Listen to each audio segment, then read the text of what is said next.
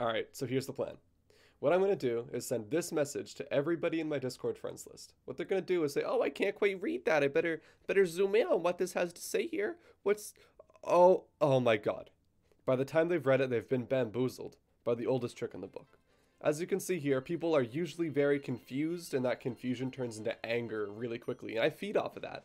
Sometimes they're just confused all the way through, and most of the time they don't answer me, but I don't think that's because the joke is bad. I think it's because they just don't like me. This guy just said Lamau. Like, got him. That's a win for me. Right there. Oh, and get a load of this Joker who thinks she can pull a fast one on me.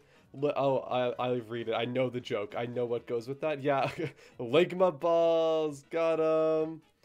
Got him. Yeah. Man, you know, I'm running out of steam. I'm running out of steam fast, man. The more I make of this video, the less I want to make of this video. It's just not very good. Alright, so while I was editing this video, I got a couple more uh, victims to my ploy. This guy says, what does it say? And he has not answered me. So, very funny meme joke. I'm being humored. Uh, pity, maybe. Got him. That's another one for the fish barrel. It says gullible on the ceiling. What? It doesn't say gullible on the ceiling.